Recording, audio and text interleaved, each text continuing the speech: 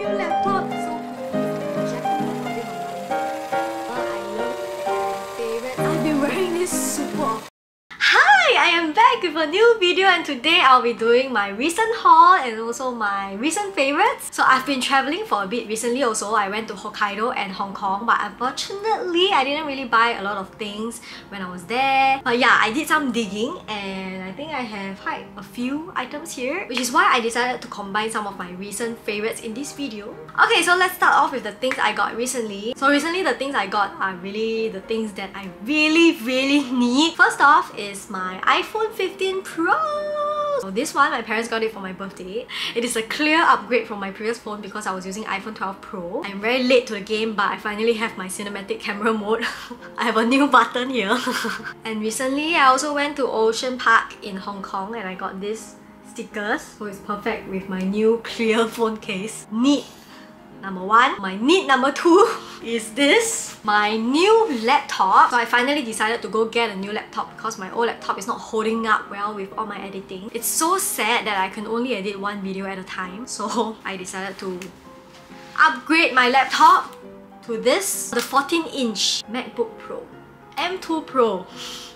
this is the first time my haul video is like so gadget. Oh yeah, ta-da! New laptop, new videos, you know. Previous laptop that I had was the 13 inch and it has like this touchpad over here. But I decided since I need a better laptop when it comes to editing, I got the 14 inch one instead and honestly it is so fast. Like the way it actually renders my video is so much faster. I was really in need of a new laptop but I didn't go and change it because my old laptop is not that old. It has been like only 2 or 3 years max. Anyway, also my laptop case is this like puffy one I got from Shopee. I'll leave the link below if you guys want to get anything that I got from this video. So poofy and it feels like it protects my laptop well. We have two more gadget things. so I also got myself a SanDisk SSD. So this is like a very portable mini SSD. It helps to really boost my memory space in my laptop. So that means I can edit more videos. Another new thing I got is my GoPro. So this is the GoPro 11 Black and I am so surprised because the last GoPro I have is like probably from 8-9 years ago. So the quality difference is so big, like this is so extra HD, the difference is so big. But yeah, that means I can do more action stuff for you guys. I got this as my birthday present from my boyfriend. My recent haul is like so productive cause it's an upgrade for my work stuff. Okay, so from Hong Kong, I only bought one item and it's this Brandy Melville skirt. So this is like super internet famous skirt and I got it from the original place itself, of Brandy Melville. It comes in one size. I honestly haven't tried it on yet, but I think it's gonna fit cause it's drawstring. The quality is really nice as well. And uh, yeah, this is the only thing I got in Hong Kong.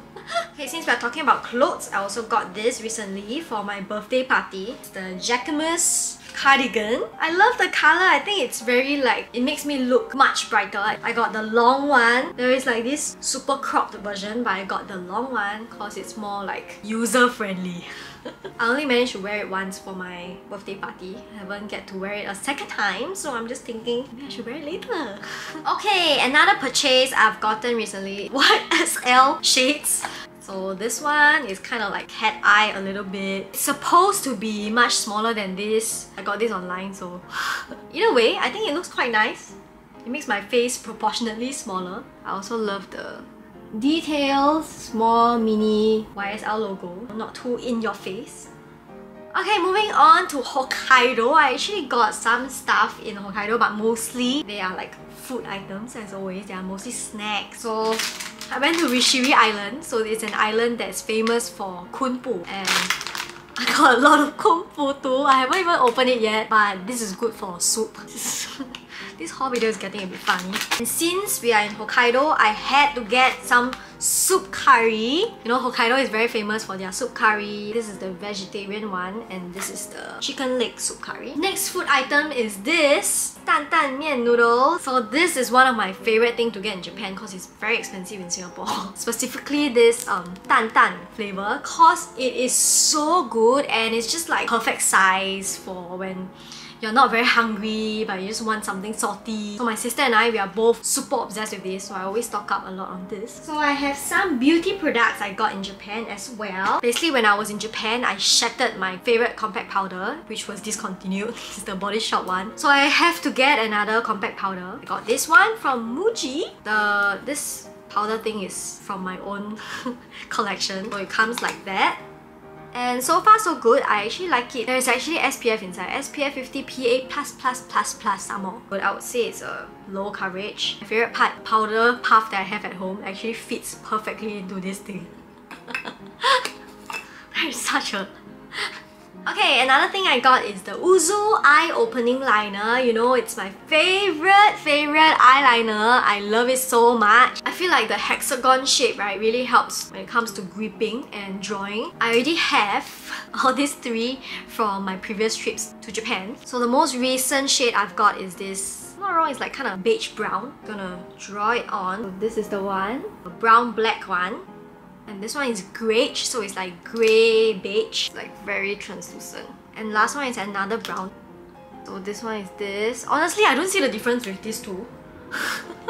Slightly more reddish. This is one of my favorite eyeliner. If you're in Japan, you have to get this in all different shades. You know, my this current trip to Hokkaido, I didn't really have much time to shop around too much, but I went to a lot of 7-Elevens, a lot of companies. In one of the 7-Elevens, I found this rom&nd Glassy Balm, and I got it because it is so mini. Initially, I didn't really want to get it because rom&nd is a Korean brand. Although it's made in Korea, it's like filled with Japanese words, so I was thinking maybe it is exclusive in Japan. And after some research online, I think it is exclusive to Japan and this is in the RD01 Chili Way.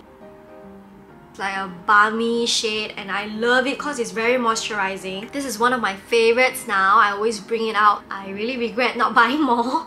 Apparently after coming back, I saw online that everybody's been saying this is like sold out in a lot of places and I didn't know. There are also a lot of other mini versions like eyeshadow and stuff if I'm not wrong. So hopefully I gotta get more. Right, so another item I got is this Canmake Plumpuku coordinate eyes. I got it in 01 but afterwards I found online that I think the more popular one is 02. They only have two different shades. The one that's popular is the pinkish one. Very tiny which is why I got it because I love all my miniature stuff that I can travel with. But this is actually made specifically for your aegyosal like this mini eye bags underneath your eye. This one is like the shadow and then these are the highlight and sparkle. I feel like it's a very creative um, eyeshadow palette. I think when you first apply, wow, it's really nice, but unfortunately, right, it's not very long lasting, so. Okay, so the next one I have is the Clé Lip Balm. So this is a tinted lip balm, like coral shade. But I feel like the color is not very, very intense, which I also like. And I have been sharing this lip balm in some of my older videos. But in Singapore, right, it is like pretty overpriced. I think it's selling at like 60 or 70 bucks and I didn't think of repurchasing it because it was like a little bit pricey for the lip balm. And recently I went to Japan and at the airport I found it for like less than $40 if I'm not wrong. It was a lot more affordable, like 50% off or something. And I'm very happy it's finally back in my life because I really enjoy using this lip balm. It glides on very well and it's just very fast free. One of my favorite tinted lip balms I've tried. So another favorite item that I stock up in Hokkaido as well, Fino Premium Touch hair mask. This one is selling in Singapore as well, but it is of course much cheaper in Japan. I think it's like $7 in Japan. This is one of the best hair masks I've used. I'm not even kidding. The scent is good. It smells really, really nice. It works so well. My hair is extremely damaged. Like nothing can help my hair, you know.